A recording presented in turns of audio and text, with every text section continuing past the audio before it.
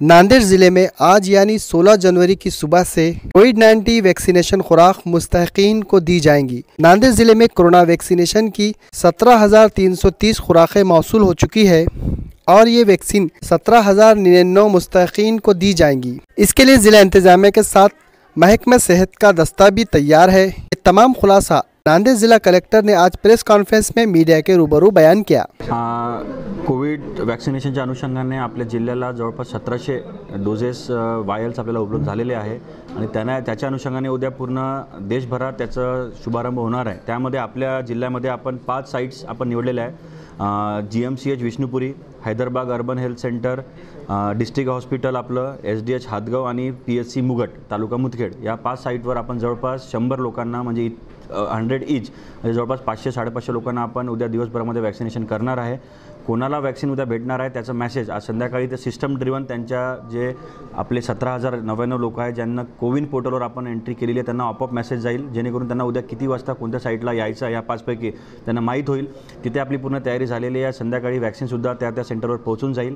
आणि वॅक्सिनच्या अनुषंगाने जसं मी आधीच सांगितलं आहे की तीन आपण कंपार्टमेंट बनवलेले आहे. वेटिंग रूम वॅक्सिनेशन रूम आणि ऑब्झर्वेशन रूम म्हणजे वेटिंग रूममध्ये लाभार्थी आल्यावर त्याचं आयडेंटिटी आपण पहिले आयडेंटिफाय करू. त्यानंतर वॅक्सिन रूममध्ये त्याला वॅक्सिन देऊ आणि ऑब्झर्वेशन रूममध्ये त्याला वॅक्सिन दिल्यावर त्याला काही साईड इफेक्ट होत नाही. यासाठी अर्धा घंटा आपण त्यांना थांबवून त्याला ऑब्झर्वेशनमध्ये ठेवून अर्धा घंटा झाल्यावर त्याला आपण सोडू.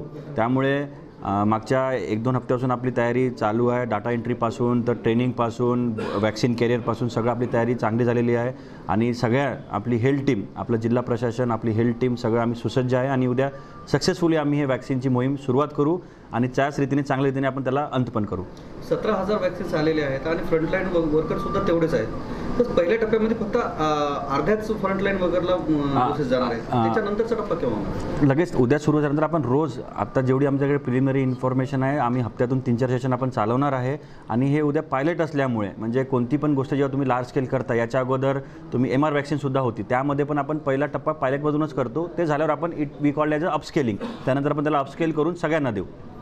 मी लोकांना हेच अपील करील की हे वॅक्सिन सगळ्यांना भेटणार आहे. त्यामुळे उद्यापासून हा पहिला टप्पा आहे. त्यामुळे कसली पण भीती न बाळगता आमचे जे कोविड कोविडचे फ्रंटलाईन हेल्थ वर्कर त्यांनी ज्यांना मेसेज जाईल त्यांनी सिन्सिअरली त्या सेंटरला येऊन आपलं वॅक्सिन घेऊन ह्या वॅक्सिनच्या मोहीमला कोविड वॅक्सिन मोहीमला सक्सेसफुली आपल्याला करायचं आहे आणि आपण हे करून दाखवू. लोकांना भीती आहे. त्यासाठी आपण काय नाही बर्ड फ्लूमध्ये सध्या कोणाला भ्यायची गरज नाही आहे दोन ठिकाणचे सॅम्पल आपण पुणेला आणि मुंबई भोपाळला निषाद भोपाळला आपण पाठवलेले आहे. परंतु त्या रिपोर्ट येतपर्यंत आपण थांबणार नाही आहे त्या अगोदरच आपण त्याचं दहा किलोमीटरच्या एरियामध्ये आपण सर्व्हेलन्स आणि सगळं सुरू केलेलं आहे. त्याच्यामध्ये आर आर टी बनवलेले आहे पी पी किट सप्लाय केलेले आहे आणि जसं रिपोर्ट येईल त्याच्यानंतर सामोरची स्टेपसाठी पण आमची तयारी आहे. परंतु आम्ही त्या रिपोर्टचा वेट करत आहोत.